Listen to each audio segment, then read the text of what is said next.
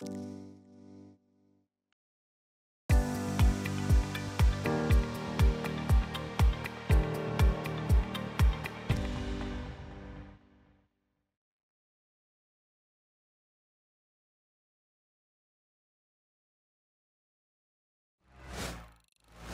день всем. А, спасибо за интерес а, к докладу. А, сразу хочу напомнить о том, что у нас здесь есть QR-код. Да? Вы можете перейти в чат дискуссии, по этому QR-коду оставить, во-первых, свои вопросы для дискуссии во время доклада и после него. И, что самое главное для нашего докладчика, свой фидбэк. Поверьте, ему это очень важно и очень приятно. А теперь давайте познакомимся. Меня зовут Валерия Пузикова, я представляю компанию «Ядро», и сегодня а, я хотела бы представить вашему вниманию доклад от компании Infotex Алексея Алешкина «Эффективное использование памяти во встраиваемых системах». А, Алексей, ну прежде чем перейти к твоему докладу, вот ты знаешь, у тебя здесь лежит такой интересный предмет – кубик Рубик, очень красивый. У меня, кстати, дочка прям мечтает такой получить. Расскажи, что это? Да, это кубик Рубика от компании Infotex с мерчом и с множеством технологий на каждой его грани. Этот кубик здесь лежит не просто так, он будет подарен за лучший вопрос после доклада. Очень круто. Так, но это еще один большой стимул задавать вопросы, потому что кубик Рубика, да, просто прекрасен, мне кажется. А, слушай, Алексей, вот расскажи, пожалуйста, ты знаешь, лет 12 назад я писала а, математическую начинку для таких э, носимых медицинских устройств, таких так, как холтеры, там, смады для давления. И вот ты знаешь, мне тогда говорили прям очень четко, что у нас здесь никаких плюсов быть не должно, тут у нас памяти прям все тютелька в тютельку, надо все экономить, плюсы нет, только чистый си. А вы, насколько я понимаю, решились э, для встроенной системы написать на плюсах, да? Вот как вы до этого а, дошли? Да, мы э, написали проект на плюсах для встроенной системы, и это не встроенная система не того типа, которые сейчас э, модно называть, э, Raspberry Pi, Discovery и прочее, где можно установить полноценный Linux, ну или embedded Linux. Э, это система, куда, если мы поставим embedded Linux, э, там ни для чего больше места не останется. Но э, C++, он действительно хорош, он позволяет очень эффективно писать код, он позволяет использовать много э, паттернов. Mm-hmm. А самое главное, что мы теперь можем использовать сертифицированные библиотеки, uh-huh. э, которые были разработаны для серверных приложений. Ну, надо же. да, слушайте, то есть э, доклад ожидается явно очень и очень интересный. Алексей, давай тебе слово. Удачи. Спасибо. А, давайте поддержим Алексея. Добрый день всем. Э, в первую очередь хочу сказать спасибо программному комитету, организаторам и всем участникам. Э, перед тем, как начать доклад, я хочу еще сказать пару слов о компании Infotex и о себе. Э, меня зовут Алексей Алешкин, я работаю разработчиком, старшим разработчиком в компании Infotex. Так, почему назад? Угу. Вот. И Infotex разрабатывает и производит высокотехнологичные средства защиты информации и работает в сфере информационной безопасности. Группа компаний занимает ведущие позиции на российском рынке информационной безопасности. Э, компании, компании, входящие в группу Infotex, вы можете видеть сейчас на экране – и у компании есть даже своя собственная производственная площадка, комплекс для производства оборудования, который находится сейчас в Томске. Это Проквант. За более чем 30 лет продуктивной работы Infotex стал одним из лидеров с широким ассортиментом продукции. Компания имеет высокие рейтинги и продолжает расти. За последние годы было открыто э, много офисов в новых городах, значительно расширенная география. На сегодня это 12 офисов по всей стране, от Санкт-Петербурга до Владивостока. И в каждом офисе у нас есть э, свои отделы разработки. компания продолжает свое развитие. Флагманская разработка компании – это платформа VIPNet, бренд VIPNet. С ним вы можете, кстати, еще познакомиться на нашем стенде. Здесь. На, на слайде вы видите основные направления работы, и они в основном связаны с enterprise решениями для серверных платформ, десктопные решения, мобильные разработки. Но в свое время появилась необходимость э, в недорогих устройствах, которые могли бы защищать информацию в полевых условиях. И новым направлением в компании стала embedded разработка. Собственно говоря, единственные наши несколько проектов, они остаются единственным в компании в направлении embedded. Э, и сразу был принят ряд решений, про которые я расскажу в своем докладе, э, чтобы э, я расскажу в своем докладе, и эти решения, они несколько разрушают стереотипы о embedded разработке как о таком комплексе, где все заранее известно, где все выделено статически и пишется на C очень-очень предопределенно. Расскажу вам про некие очевидности, неочевидности, э, пару лайфхаков, которые могут оказаться полезными. Мы в последнее время начали даже подозревать, что не только в embedded разработке, потому что экономия памяти и скорости, мне многие бэкэндчики говорили, что они могут быть полезными. Итак, CS Core основан на платформе Cortex M4, и мы используем разные микроконтроллеры в его базе в зависимости от того, что мы можем сейчас применять в данный момент – Поэтому контроллеры разные, у них от 2 до 3 мегабайт памяти, разнородная RAM в том плане, что у нее очень разное быстродействие даже в рамках одного контроллера. И мы сразу же использовали операционную систему FreeRTOS, чтобы поддержать э, многопоточность и с целью дальнейшего удобного управления сценариями, потому что сценариев модуль может выполнять одновременно несколько. Помимо пользовательского еще есть и внутренние. На текущий момент это единственный э, сертифицированный у регулятора криптографический модуль у нас в России, который есть в продаже. Он предназначен для шифрования подписи внешнего трафика некоего защищаемого устройства и на данный момент поддерживает интерфейс обмена USB UART SPI.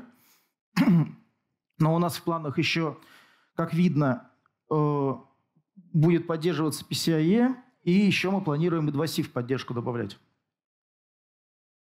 Также он поддерживает защиту от несанкционированного доступа, что является еще одним параллельным процессом, параллельным сценарием. Э, к устройству изначально предъявлялись очень высокие требования. Ключевые – это высокая доступность и одновременно потоковая обработка данных на разных командах. То есть, когда у нас заканчивается одна команда, защищаемое устройство должно быть незамедлительно э, подать другую, может незамедлительно подать другую, и модуль обязан быть к этому готов, несмотря на то, что защищаемое устройство может быть многократно его быстрее. И при этом нужно обеспечивать стабильность производительности. Это обусловило тоже подходы, что нам необходимо использовать некие high-load архитектуры, чтобы одни соединения были готовы заранее до того, как э, будут завершены предыдущие. Э, соответственно, как я уже упоминал, э, принципы embedded разработки мы решили не применять и сразу стали работать на C++ с динамической памятью, с кучей, использовать множество э, возможностей C++, которые они предоставляют, и это значительно ускорило саму разработку. То есть то, что пишется на C очень долго, на C++ это берется из коробки. Это также помогло при сопровождении, когда у нас появлялись какие-то новые требования, и или изменялись старые, у нас получалось менять поведение очень быстро, поскольку а, изначально разрабатывалось э, все по архитектурным принципам. А также применение более широкого спектра библиотек помогло нам ускорить разработку. Однако у нас э, с C++ мы получили все те самые проблемы, которые следуют из-за применения динамической памяти, из-за больших библиотек, потенциальные потери производительности, которые дает как C++, так и динами... использование динамической памяти, мы, конечно же, получили. И я расскажу, как мы с этим справились. И, и, и продолжаем справляться тоже. Итак, в какой-то момент у нас на каком-то релизе исполняемый код перестал вмещаться в нашу коробочку микроконтроллера. И что было э, в целом добавлено, вы тоже можете прочитать. А самое главное, что весь этот добавляемый код сам по себе не очень большой. Он притянул толстые библиотеки. Заранее мы не могли знать, что код из этих библиотек точно возьмет и какого объема это будет. Поэтому мы быстро пишем код, после чего берем и ищем альтернативы тем тяжелым функциям, которые были применены. Сейчас я расскажу про то, как мы это делали, а также небольшой лайфхак, который были вынуждены применить после принятия решений по, по библиотекам. Итак, у нас все сюда не влезает. Соответственно, мы берем объектные файлы, берем из них все имена по размерам, которых очень много, очень много, и считаем. Оказывается, что за 90% добавления кода ответственно было всего три библиотеки – Stream, FMT и Locale. Что делать? Мы их убираем, дописываем, если что-то надо, оттуда нам для использования уже сами – то есть э, по более классическому подходу для embedded. Также мы, конечно же, были вынуждены отказаться от тяжелых библиотек, хотя поначалу пробовали что-то из них брать. Boost э, приводил к взрывному увеличению порождаемых типов. Стрим сам по себе очень толстый оказался, не ожидали такого размера. И также многие библиотеки, э, точнее, многие типы из STL мы заменили на типы из itlib. Вот мы использовали библиотеку itlib, но есть еще хорошая библиотека ETL, Embedded Template Library. Она для этого применения тоже очень хороша. Так что можно выбирать. И все это привело вместе к уменьшению бинарного файла у нас более чем на 400 килобайт. Это 20% от э, нашей флешки ми- минимально доступного контроллера. Если быть более точным, 430 732 байта мы освободили. Код отлично влез. И кажется, можно на этом остановиться. Но дело в том, что мы о чем я расскажу позже, по ряду причин использовали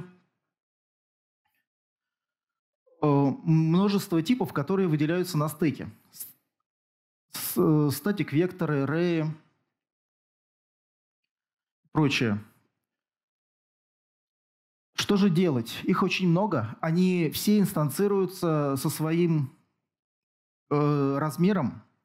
И получается, и хочу добавить, что кроме стандартных типов у нас были еще обертки над ними и кастомные типы, которые имели свой размер. Что же с этим делать? Вот здесь приведен очень-очень простой пример фабрики, которая конструирует тип по его максимальному размеру. В самой нижней строчке вы можете видеть его использование. Допустим, нам где-то нужно взять std-array с размером 3, 4 и 5. Но это породит сразу три типа. А если это кастомные типы, то увеличит код сильно.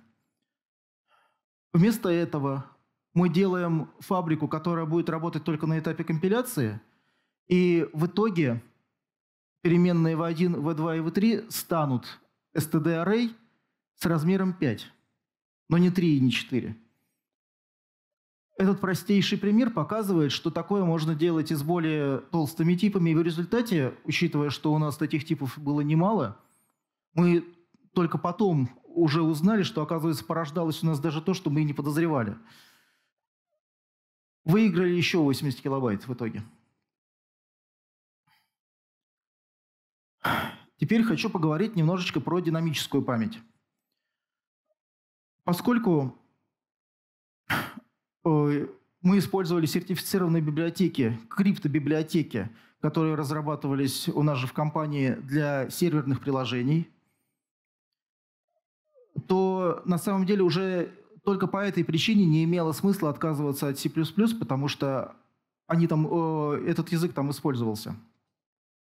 Но вот через какое-то время у нас началась проблема с нехваткой памяти. Беталог вылетал через несколько дней, что на таком объеме АЗУ в целом не может говорить о том, что это утечка, потому что когда у нас появлялись утечки, они на нагрузочном тестировании вылетали в часы буквально, в 2-3.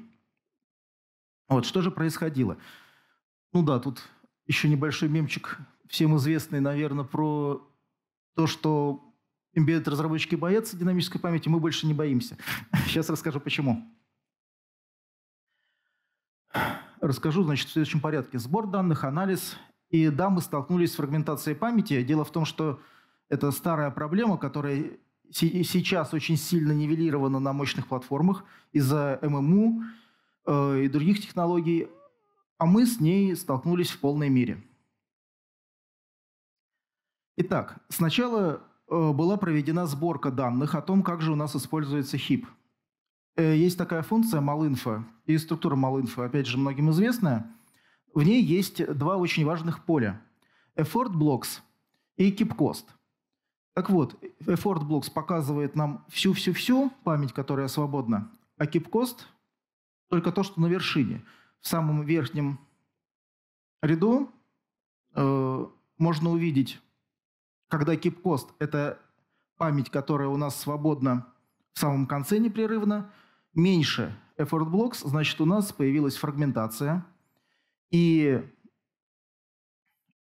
эта фрагментация со временем становится такой, что как только начинает выделяться более-менее большой кусок памяти, его просто негде выделить. При этом когда мы выполняем какой-то сценарий, э, где нету оптимизации по использованию памяти, кэширование в куче, отложенная обработка, другие варианты оптимизаций, э, то все работает хорошо.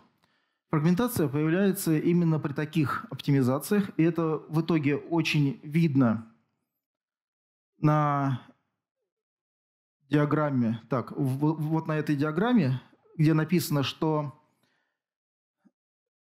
код, э, где текущий сценарий выделил часть памяти и ее не освободил. Но это не утечка, потому что на следующем сценарии он будет освобожден, а потом выделится где-то в другом месте. Таким образом, мы нашли фрагментацию и не думали, что она будет настолько опасной. Э, и не знали, что с этим делать. Дальше мы стали память анализировать следующим способом. С помощью функции GCC, фичи GCC в RAP э, перехватили управление функциями управления памяти. Тут написано malloc и free, но там и реалог тоже был, и колок. И использовали также фичу GCC инструмент functions – она позволяет перехватывать вызовы в модулях, которые были с ней скомпилированы. И, соответственно, вызывать какие-то специальные функции, некие специальные функции на входе этой функции и на выходе из нее. Таким образом, получилось перехватить функцию, отметить в нее вход, узнать, какой объем памяти в какой точке кучи был выделен, и что мы из этой функции вышли – Однако внезапно объем, который генерился э, э, с помощью этого метода, стал превышать все разумные пределы. То есть при среднем сценарии выходило около 10 мегабайт файла с сырыми данными о том, что, что было вызвано и что было выделено. Поэтому использовали семихостинг файл System – это очень интересная фича, которая позволяет с помощью OpenSCD, интерфейса JTAG, OpenSCD и GDB сбрасывать данные, то есть один из возможностей применения, сбрасывать данные на файловую систему хостовую. При этом выполнение, конечно же, получается очень долгим, сценарии идут долго, но мы получаем полную картину кучи, которую потом можно проанализировать с помощью э, инструментария. Я анализировал это на питоне, например. И зная адреса этих функций, выделяемый размер, мы легко сопоставляем вызовы с выделениями и смотрим, кто у нас портит память. Точнее, не портит, фрагментирует. Но для нас это все равно, что портит. А, так вот, э, конечно же, сама по себе фрагментация не страшна, если у нас есть достаточно большой объем, чтобы дождаться, пока маленькие фрагменты склеятся в большие. Но в итоге мы нашли сценарии, на которых у нас выделялось много-много небольших объектов, которые били память на тысячи маленьких фрагментов. Э, вот тут результаты анализа, и каждый столбик гистограммы показывает, какое количество, какой объем памяти был выделен на сценарии на каждом 10-килобайтовом участке. Вот на самом динамично изменяющемся размере кучи от 110 до 190 килобайт происходило высокое выделение. Допустим, от 110 до 120 при, примерно 23 тысячи байт было выделено в процессе работы сценария. И в случае работы, когда мы выключили все оптимизации по памяти, выглядело все примерно вот так. То есть везде выделялось много, к концу поменьше. Однако, если сценарий был, работал с каким-то предварительным кэшированием, то были большие проседания, и как раз это места, где фрагментации было больше всего.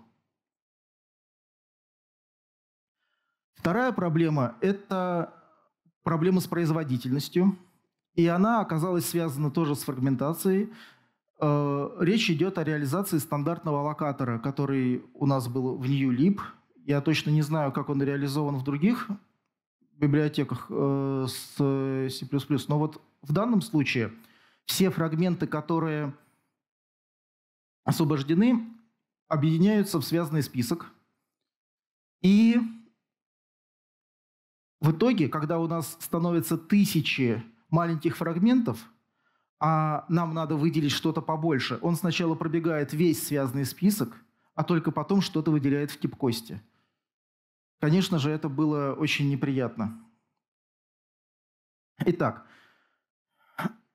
все эти исследования были сообщены архитектору проекта, он очень удивился. И мы стали решать, что же с этим делать. В первую очередь, самым главным виновником оказался вектор. Первую практику, которую мы ввели, это мы перестали пользоваться непосредственно пушбеком сразу. В сложных сценариях э, стали считать память сначала требуемую для выполнения этого сценария, даже если это требовало прогона данных э, в каком-то, по какому-то алгоритму без помещения расчетных данных в выходной буфер.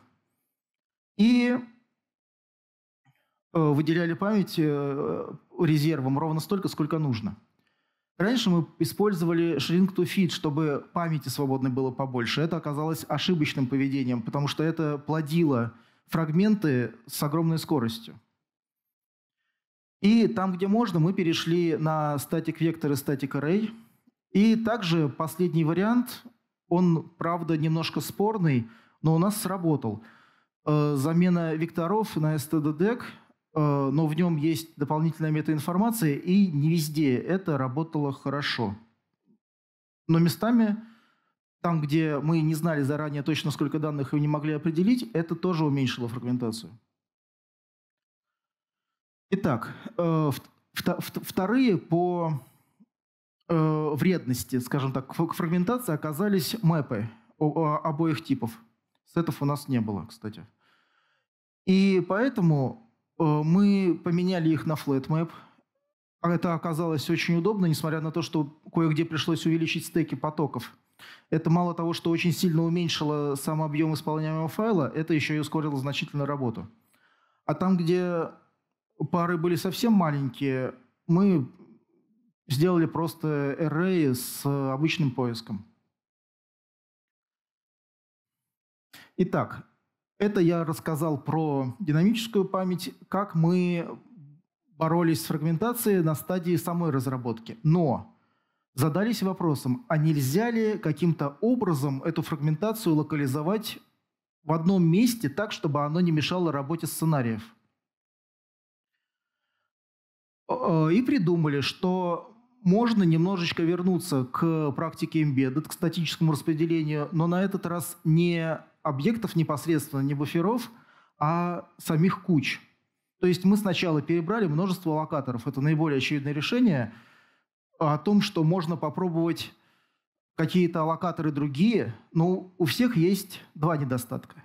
Первый. Либо много метаинформации, например, как у слапа локатора, либо много заранее предвыделенных буферов памяти, а мы не знаем, будут они использованы или нет.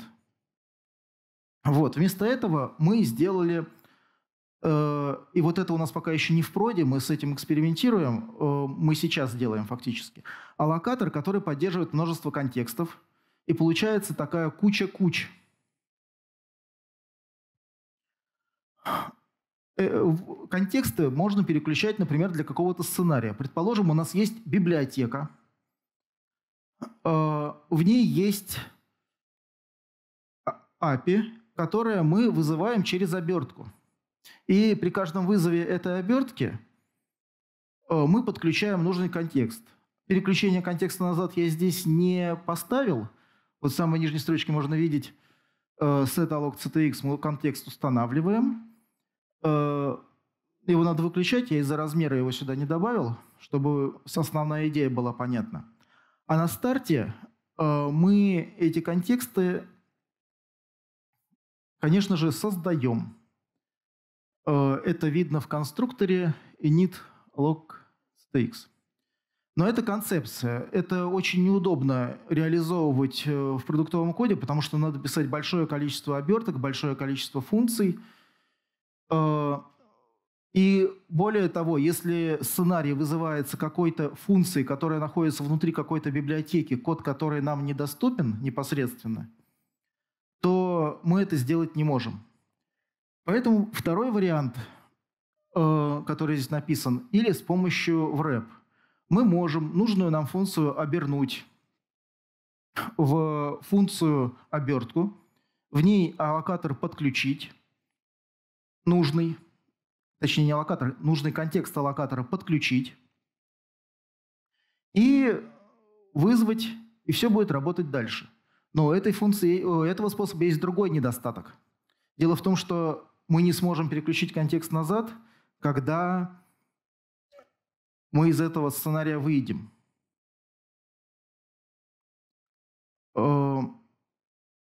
То есть э, все эти методы, они ситуационны. Где-то лучше сделать так, где-то по-другому. Хочется сделать что-то универсальное. Вариант 2.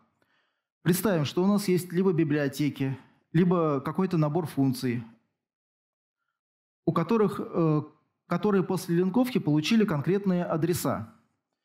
Мы можем их э, из L-файла взять, создать таблицу этих адресов сценариев и каждому сценарию подлинковать свой собственный контекст, заранее предвыделенный, то есть статически предвыделенные кучи. В результате все получается немножечко по-другому, но зато универсально. В момент инициализации мы берем контексты и подключаем, э, создаем их в памяти – подключенными к таблице, которая была заранее записана в исполняемые файлы. После чего используем инструментальную функцию GCC, ту же самую, которая позволяет перехватывать вызовы для нужного объектника, который вызывает нужный нам сценарий.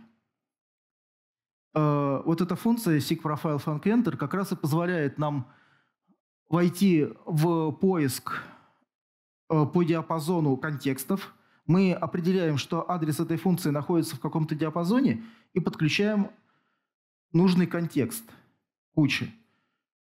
В момент выхода, когда вызывается функция, которая здесь написана profile func exit, мы возвращаем контекст, который был задан э, перед этим.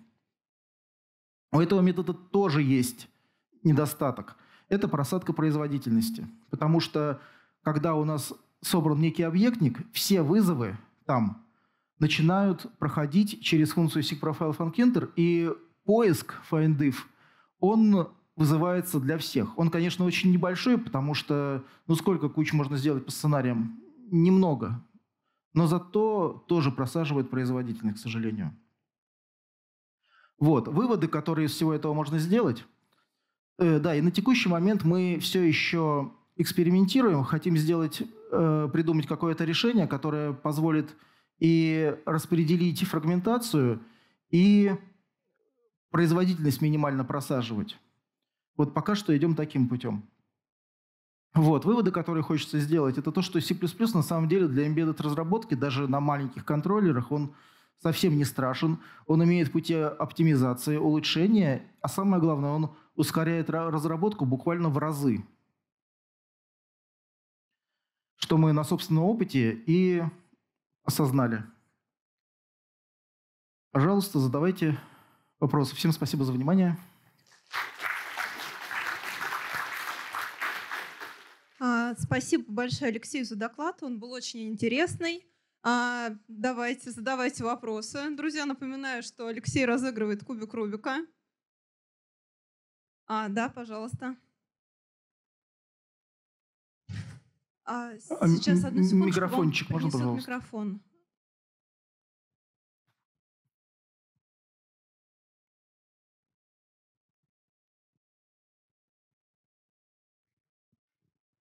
Спасибо за доклад. А, у меня такой вопрос возник. Не пробовали ли э, смотреть, как по вашим сценариям распределяется размер объектов, в том числе по времени жизни?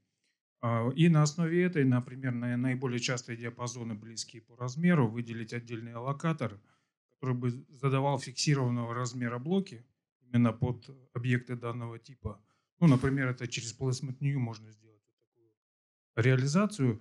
И, соответственно, там Дефрагментация большого значения иметь не будет в, в таком случае, потому что всегда можете последний освобожденный блок переиспользовать.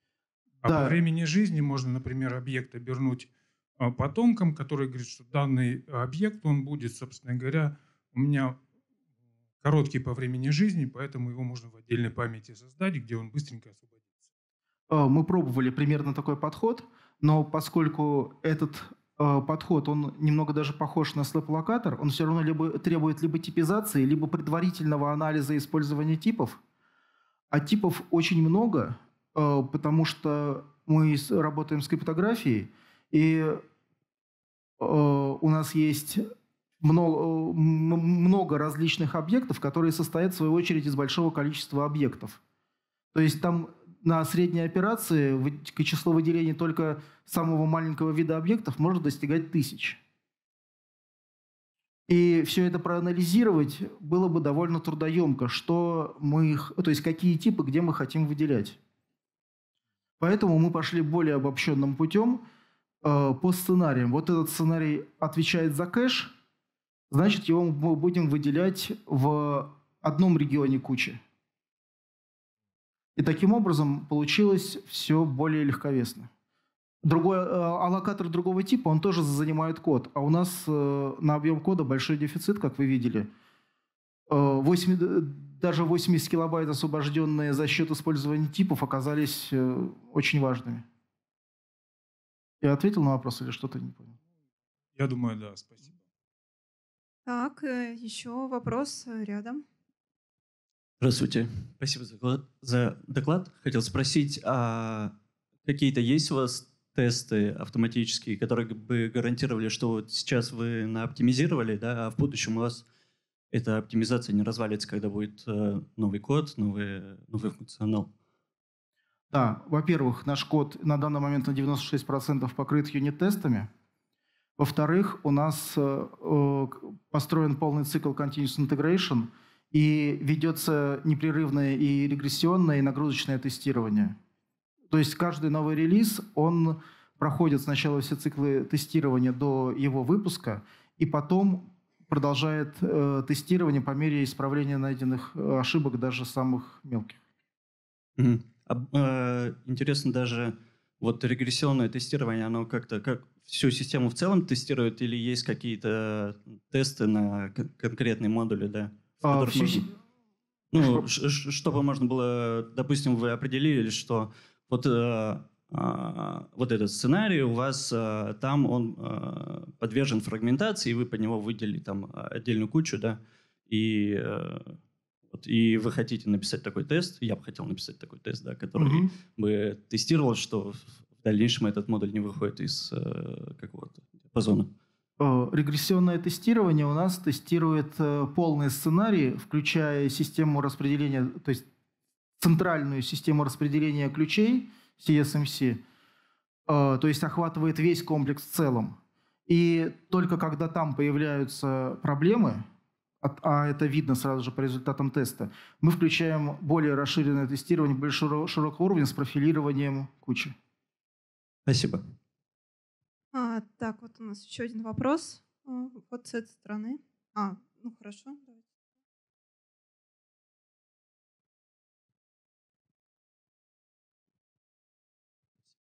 Здравствуйте, у меня два коротких вопроса, наверное. Первый вопрос, а вы во время оптимизации библиотек не пробовали натравить, например, Link Time Optimizer, чтобы он просто выкинул весь ненужный код и посмотреть, подошло ли вам или нет этот результат? Ну и второй вопрос.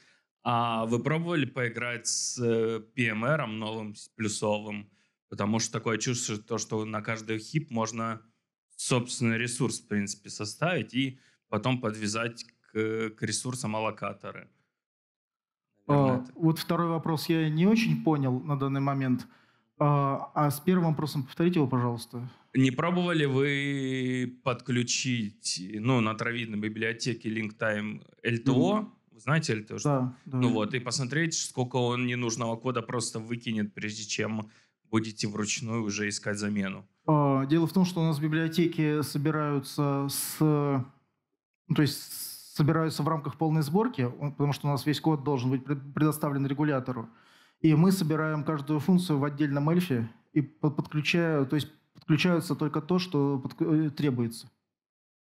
Mm. В отдельной эльф-секции.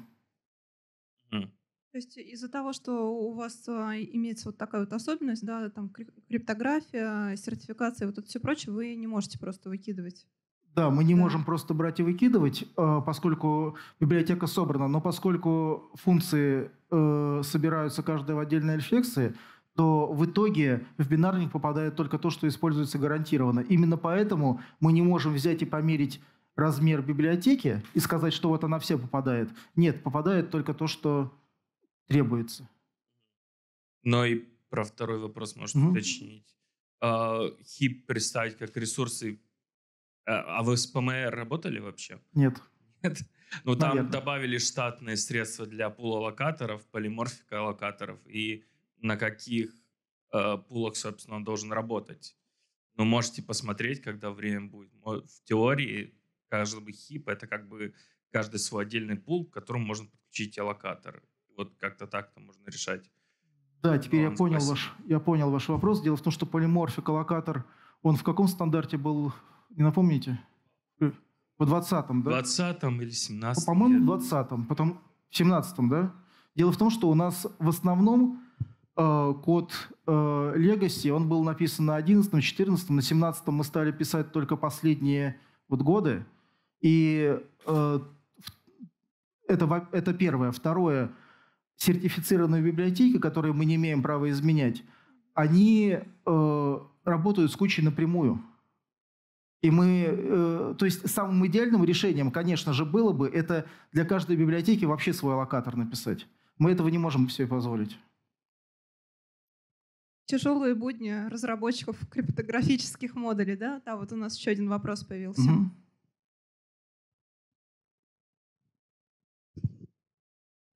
Все хотят кубик Рубик, Алексей. Все. Да, у меня один такой простой вопрос. А вы сильно вообще привязаны к этому аппаратному модулю? А есть ли у вас какая-то программная реализация этого устройства? И планируется ли она? Потому что аппаратные вещи очень быстро устаревают. Как вы на этот вопрос смотрите? Э, Да, спасибо, интересный вопрос. Э, С одной стороны, у нас это разработка кроссплатформенная, и этот модуль, который запускается на Cortex, он также может собираться под Linux и на нем запускаться. Но для серверного решения у нас есть другой продукт, он называется CS Unit, и позволяет э, поддерживать намного большую нагрузку, потому что там нету вот таких вот оптимизаций, э, которые мы были вынуждены применить в микроконтроллере.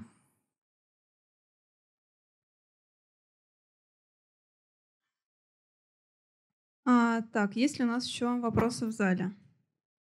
Ага, Вижу, да. да, да. Да. Третий ряд.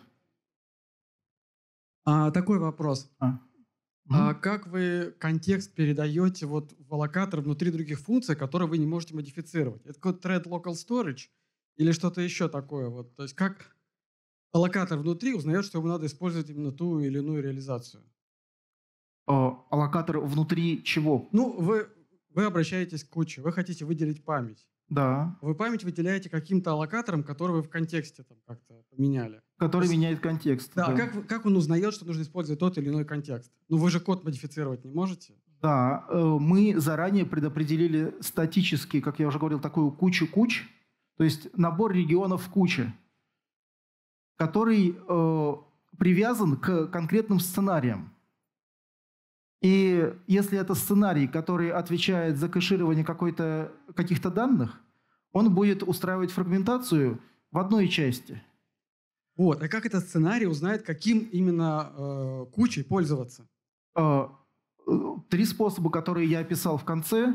Либо это чисто программный способ, который довольно трудоемок в разработке, либо это враппинг, либо это вариант с перехватом вызовов функций через инструментальные фичи GCC на текущий момент. И у вас таких сценариев, что э, память выделяется в одном сценарии, освобождается в другом, вы как бы не рассматриваете. Ну, то есть, условно говоря, функция выделила объект в одном контексте, а он использовался где-то в другом.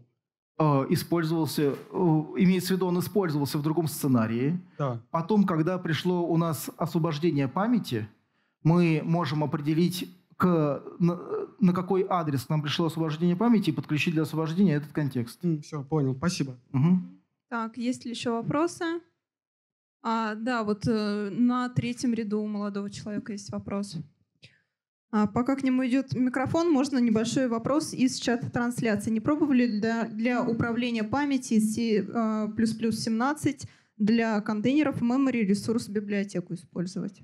Опять же, это вопрос Уже, про C++ да. 17, Да, который да. нам не везде доступен. Мгм, Да. А, Здравствуйте. Я хотел бы уточнить, вот у вас э, вы сказали покрытие 96%. Это на микроконтроллере вы тесты запускаете или на Linux? Юнит-тестирование у нас на Linux. Окей. Э, И второй вопрос. У Гугла есть библиотека для embedded разработки Pigvit. Мгм. Не изучали ли там вот есть и флетмапы, и много чего полезного? Ой, Именно у Гугла библиотека для embedded разработки. Да, Pigvit. Она похожа на Upsale, но больше именно на embedded. Нет, я про нее не слышал. Мгм. Если вы мне ее куда-то напишите, было бы интересно ее посмотреть. Хорошо, ладно. Вот мы в основном смотрели на Итлиб до этого Чоба. Она очень легковесная, интересная, но там мало функционала. И ETL, где функционала очень много, но она чуть-чуть потяжелее. Мы с Device, вот как раз э, тоже у нас embedded, э, C++, мы на Pigvid. Очень интересно, спасибо. Мгм. Братья просто по несчастью. Есть ли еще вопросы? А, да, у нас... Ага. А, Спасибо за доклад. Такой вопрос. Как определяется объем этой вот статической кучи, необходимой для конкретного сценария? Э, Он определяется профилированием кучи, которое мы запускаем на релизе. Вот то, что я рассказывал про э, то, как мы перехватываем вызовы и считаем, сколько памяти в какой, на каком сценарии выделяет какая функция. Хорошо, тогда получается, что перед вызовом сценария известно, какая ему потребуется куча. И почему не было бы решением использовать ну, такой модифицированный враппинг, то есть какой-нибудь объект, который, например, вот уже упомянутый thread local storage сохранял бы указатель на нужный контекст перед вызовом сценария? Во FreeRTOS это есть, насколько я помню. Thread Local контекст. Прошу прощения, во FreeRTOS есть такой вызов контекстов. Там Или... есть Thread Local Storage. Да, Куда... там, там, безусловно, есть Thread Local Storage, но у нас же речь идет не о тредах, а об отдельных сценариях. Да, и перед вызовом сценария угу. э, можно создать некий объект, который да. возьмет э, текущий контекст, сохранит его себе на стек, а в Thread Local Storage положит требуемый для вызываемого сценария. Так э, об этом речь и идет. Просто я для простоты кода в сохранение предыдущего контекста не писал никуда, потому что это э, сделается более тяжелым для понимания. А так, по сути, так и есть. Э, если у нас есть какая-то функция внутри библиотеки, которая уже собрана, и мы не имеем права менять ее код, мы можем в раппингом таким образом подключать контекст. Это второй способ был. Ну, то есть э, второй способ подразумевал в раппинг, что контекст сохраняется вот куда-то таким образом. Да, да. Контекст Спасибо. можно сохранять, контекст можно заранее инициализировать, как угодно. Это детали реализации уже. Спасибо. Так, еще оставался один да, вопрос. Вот э, даже два вопроса. Хорошо. Ну, во-первых, спасибо большое за доклад. Спасибо большое за C++ 17 в разработки. А вопрос такой э, не совсем про C++, а скорее про сам процесс. Угу. Если есть сертифицированные библиотеки, которые вы не можете менять, потому что они сертифицированы, значит, вам приходится писать свои. А, вопрос номер раз. Сколько это по времени пройти сертификацию для своего кода? И вопрос номер два связанный. А насколько вы вольны выбирать инструменты разработки? Компилятор, линковщик, и как, сколько стоит по времени его сменить? Угу. Вопросы хорошие тоже, да. Значит, во-первых, Сертификация библиотеки у регулятора перед тем, как пойти на сертификацию, она проходит испытательную лабораторию. И в сумме процесс сертификации может занимать год и больше. Поэтому менять библиотеку очень дорого. Вот. Что касается выбора инструментов, то в целом мы вольны менять их по своему выбору, но требуется утверждения у архитектурного комитета в случае, если эти зависимости будут использоваться в компании многими проектами. И я правильно понимаю, что для каждой новой версии своего ПО вы проходите процесс сертификации с нуля? Нет, не для каждой. Э, у нас есть релизы, которые не предназначены для сертификации, внутренние релизы. Есть э, релизы, предназначенные для сертификации. Я сейчас могу ошибаться, но э, только три релиза у нас сейчас э, сертификацию прошли. Кажется, три. То есть каждый публичный релиз? Да, каждый публичный. А, да, коллеги, извините, у нас заканчивается время в зале. Давайте все оставшиеся вопросы мы перенесем уже в дискуссионную зону, и в дискуссионке мы разыграем кубик Рубика.